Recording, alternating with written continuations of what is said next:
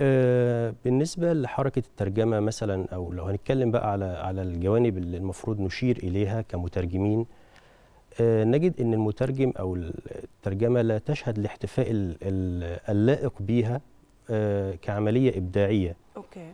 آه، نشير هنا إلى مثلا أجر المترجم أو الاحتفاء بالمترجم كشخص مبدع مش مجرد ناقل لفكرة. الترجمة هي عملية إبداعية في الأساس.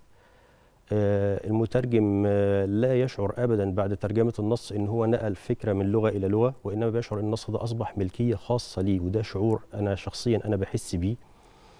آه، لكن تجدي من الناحية الإبداعية ك- كعمل إبداعي المترجم لا يحصل على حقه من التقدير المادي أو المعنوي. امم من التقدير المادي لو بصينا على سجلنا- سنجد ال- أن المهنة آه، أجورها مش على ما يرام مقارنة بدول تانية أو بالخارج. امم لو بصينا على التقدير المعنوي آه، يكفي أن أشير إلى شيخ المترجمين الأستاذ محمد عناني الله يرحمه توفى من حوالي آه، من بضعة أشهر من فترة بسيطة جدا آه، وهو أغنى من التعريف لكن ما كانش فيه أي احتفاء يليق بهذا الشخص أو يليق بهذا الحدث إن إحنا نبرز حالة هذا الشخص المبدع على المستويين العالمي أو المحلي والعالمي. آه.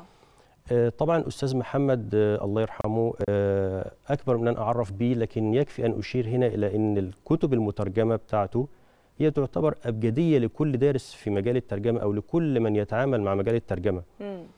آه، لو بصينا طبعا على ال على ال على أعماله الأدبية هو ترجم درر أدبية روائع أدب العالمي.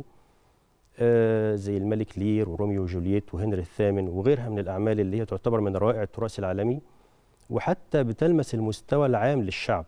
يعني ناس كتير جدا تعرف هذه الترجمات وبتتعامل معها بشكل كبير.